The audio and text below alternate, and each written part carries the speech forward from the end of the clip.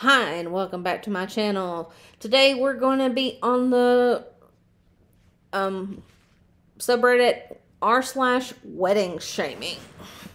This is probably one of my favorite uh, subreddits. So let's jump right in and see what we can find.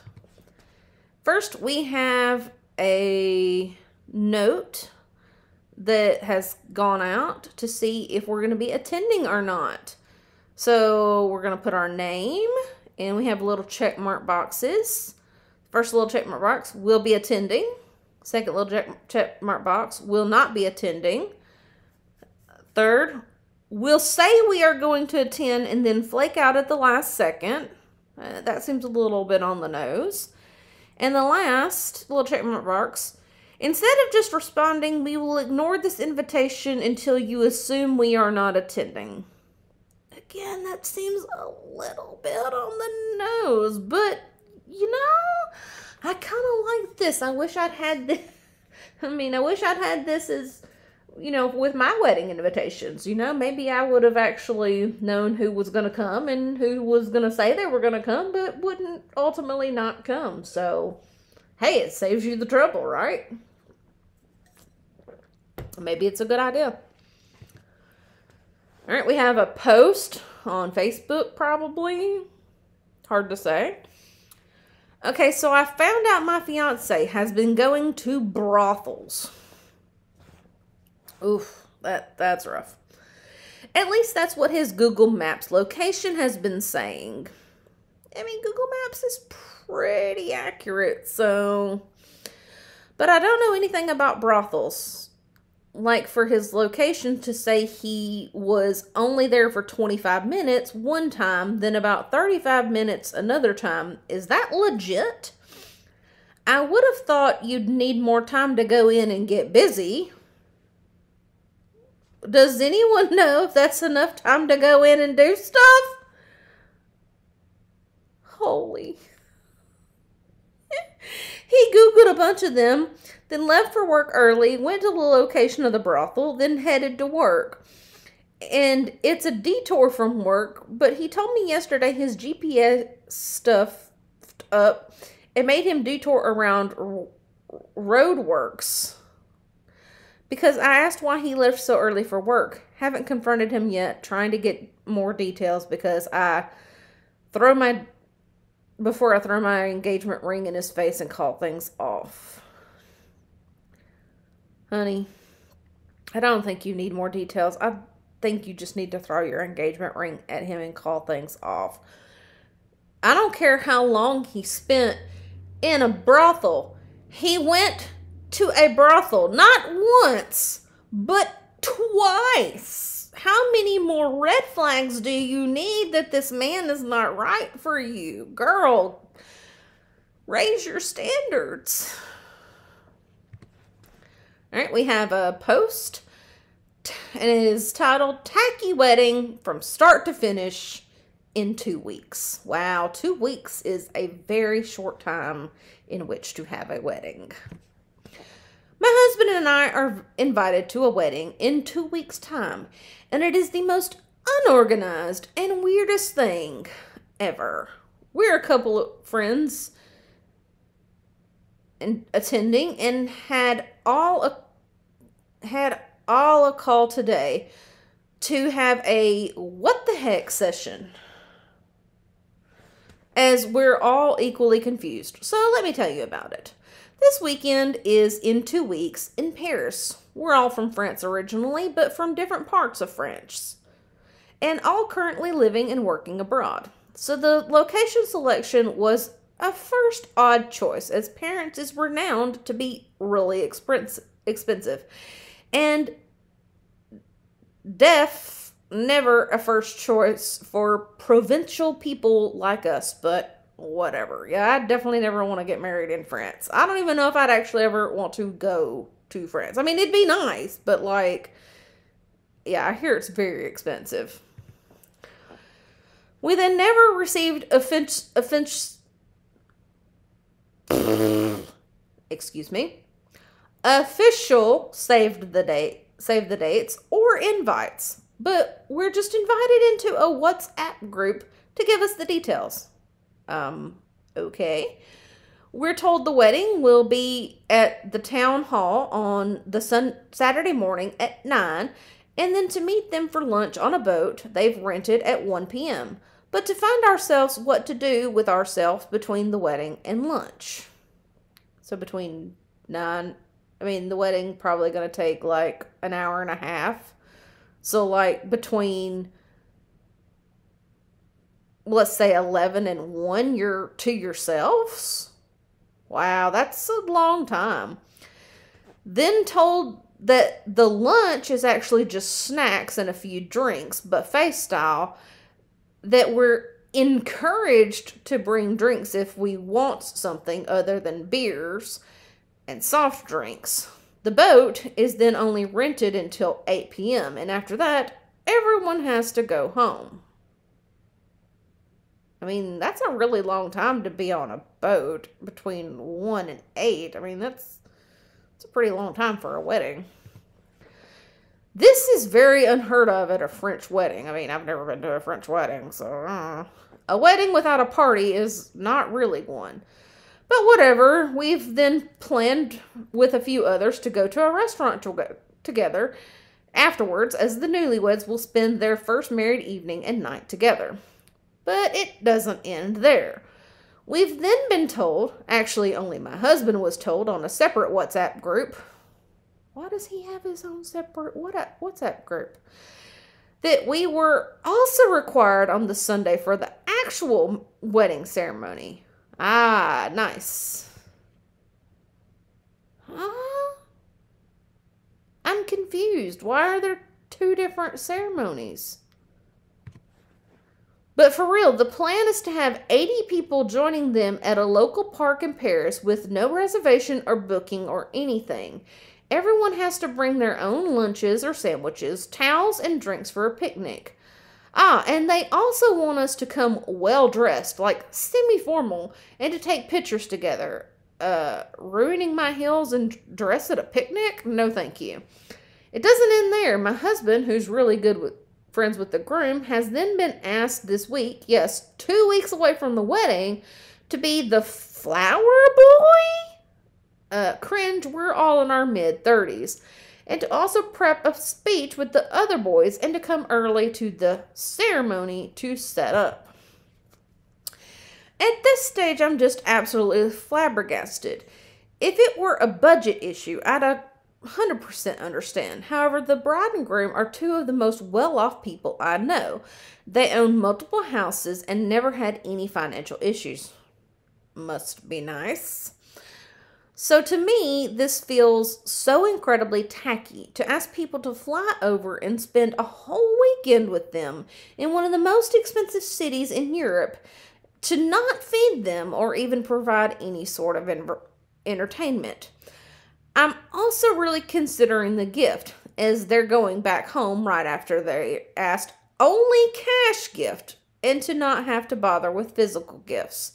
So I'm honestly thinking of just giving them the bare minimum, like 50 euros from the both of us, husband and I.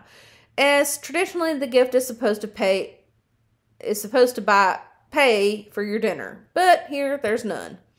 My husband and his friend group have tried to talk to him, and he feels that we don't get their vision and that they just want to do something unique. But at what cost? Regretting having accepted this invitation now, but we'll update to let you know how it's actually gone down once it's over and done. Yeah, I don't know that I'd actually go to this thing. Like, it sounds not fun not like I like a thing I'd want to be involved in, even if these people were my friends. All right, we got another post on Facebook. Beyond upset. My wedding is in three months, and no one has bought Y'all, bought is not a word. It's bought anything off our registry yet. I'm expecting a hundred guests since I invited 200 people. My parents have spent over 80 grand. Oh my gosh, that's so. On my wedding, and we expect to be returned with some sort of thank you. My fiance thinks I'm being unreasonable and won't talk to me since I've mentioned this. Oh my gosh. Oh, entitled people. Oh, entitled people. yes, it would be nice if the people that you have invited to your wedding would give you in gift. But they don't have to. It is highly suggested, but they don't have to. Oh, we got another post.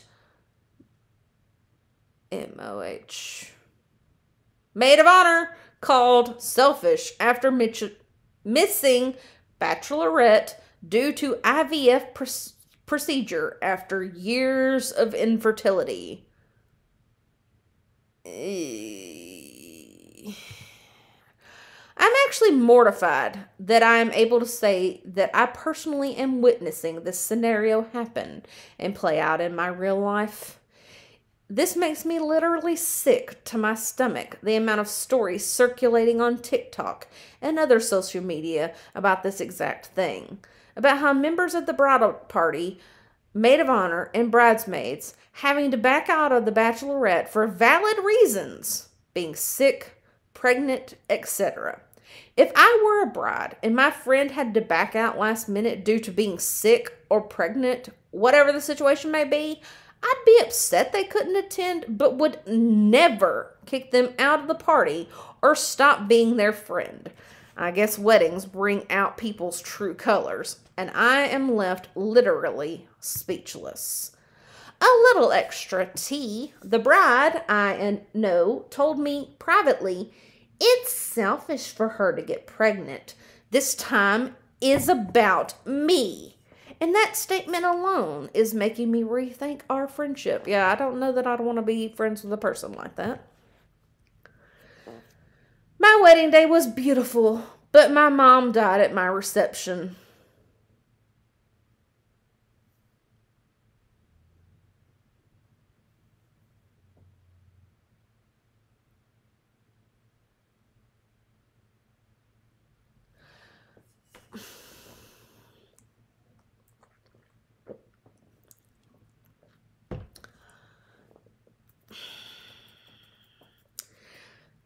Is it in poor taste to post your wedding day pictures if your mom died at your reception?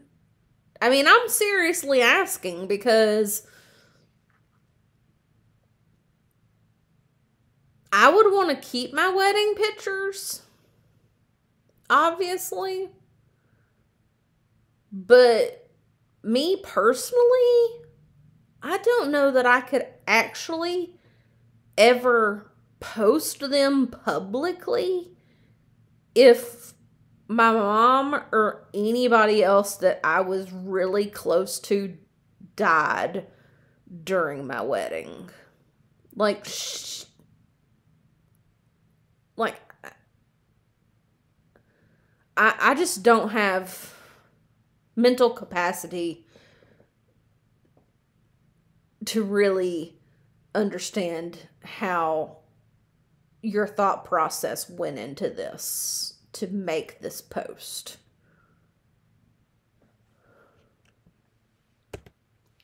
All right, we have another post. Wedding that wasn't.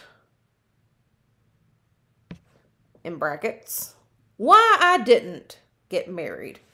I hope it's a good reason. I have gotten engaged I had gotten engaged to a guy who I had been uh, in an off again, on again relationship with for several years. I had a seven year old daughter, we'll call her Anne, and was in college full time when he proposed. He was insistent that he wanted to be a father to my little girl, and his mother asked us to bring Anne around so she could meet her Nana. So I was completely blindsided when he took me out to his mother's for dinner, and they sprang their plan for the wedding on me. His mother wanted us to have a commitment ceremony at her house. We wouldn't actually get married because she didn't want her son to be liable for my school loans or have to pay any expenses for a child that wasn't his. I pointed out that he was supposed to be her stepfather, and they assured me that he was very excited about that, just as long as he didn't have any financial obligations. Um, okay, so you want the privileges of raising a child, just not the financial obligations of raising a child. What if your new wife gets pregnant? What happens then? Are you going to financially raise that child? I'm very confused. His mom assured me that we would still be able to invite everyone and have a party and get presents. None of that would be missed. We would just skip the tiny step wherein we made the arrangement legal. I don't have a good feeling about this. I told them that if that's what they wanted to do, we could think about it, but I wouldn't be invited inviting anyone, and no one from my family, including my parents, would attend. They were incredibly offended, and I expected his mom to entirely foot the bill and his family to be solely responsible for getting us parents presents. How dare I be so selfish? They legit didn't understand that I wasn't going to invite people to a wedding and then not get married. After going in circles over the course of the evening, we called everything off. Dodged a bullet. He got married several years ago and was one of those people who asked for cash only from all of his guests to fund the reception and the honeymoon. Yeah, no, no, yeah. You definitely dodged a bullet. All right, this is a post from Facebook. Is it rude to put on invitations that gifts of $50 or more are mandatory? My fiance and I have a lot of people in our family that love to show up empty handed to events. They can afford to bring something, which is really distasteful to us. One of our love languages is receiving gifts, and I feel that it's befitting for them to at least come to the wedding with a gift worth $50. That's affordable. Update. No, I'm not having a wedding just to get get gifts. It's all about love at the end of the day. But if plates cost a hundred and $50 on top of enjoying an open bar and an individual brings nothing just because they feel like it, I feel that's a slap in the face to my union and the relationship between me and them.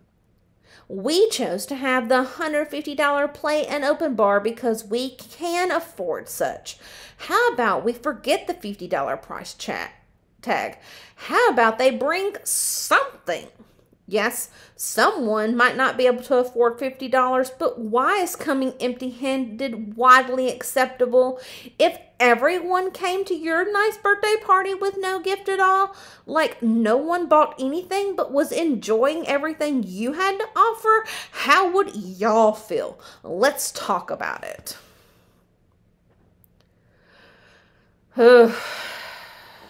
People feeling like they are entitled to everything. All right. Uh, okay, so this is Twitter. Okay. I'm not on Twitter. My sister got married yesterday, and the groom started his vows with, Kate, you're a bully, and proceeded to give like 50 examples of how she bullied him in the last 10 years. And then he said, but you're my bully and I love you for it. And I started bawling. Love is real. Oh my goodness. Oh my goodness. And I thought that that dude with the vows that were like basically I love when we have I love when we make love basically and that's pretty much all that he talked about during his vows was bad. This is up there. Another post. Today, I effed up by accidentally proposing to my girlfriend at her friend's wedding. I don't know how you accidentally propose, but let's find out, shall we? My girlfriend and I attended her close friend's wedding this weekend. It was a beautiful outdoor wedding at a vineyard, and emotions were running high. During the reception, the DJ invited all the couples onto the dance floor for a special dance. My girlfriend loves romantic gestures like this, so she eagerly pulled me onto the floor with the other couples. We were swaying back and forth to Ed Sheeran's Thinking Out Loud when I caught a glimpse of the beautiful sunset over the hills and felt a surge of love for my girlfriend. Caught up in the moment, I reached into my pocket and pulled out the diamond ring I'd bought to propose to her in a few months from now. Dude, why did you have it in your pocket? Why did you have it in her po- in your pocket? Why was it there? At during this wedding. Before I realized what I was doing, I'd gotten down on one knee in front of her and about 50 of our closest friends and family. Her hands flew up to her face and tears started rolling down her cheeks. Trying to save the situation, I held up the ring and loudly proclaimed, I didn't mean to do this now, but I can't wait. Will you marry me? There were audible gasps from the crowd. My girlfriend started nodding vigorously and crying even harder. I slid the ring under her finger. The crowd erupted into applause, and we sealed the proposal with a kiss. After the shock had worn off, we both started laughing at how I had turned a quiet sunset proposal in a few months into an impromptu public proposal at her friend's wedding. We spent the rest of the night celebrating our engagement with our loved ones. I definitely messed up the proposal I'd planned, but we now have an amazing and unforgettable story to share for years to come. Why don't you talk about what your friends thought? What did your friends, who that was their wedding, think about you proposing at their wedding? TLDR, I accidentally proposed to my girlfriend in public at her friend's wedding in the spur of the moment, and she said yes. Yeah, you didn't say how your friends whose wedding it was thought about you proposing, because I guarantee you they were upset. Guarantee.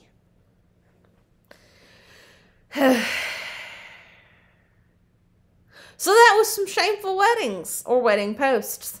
I hope you enjoyed that. And if you liked this video, please like this video. And if you want some more content like this, please consider subscribing to my channel. and I hope you have a good rest of your day. I'll see you in the next video. Bye.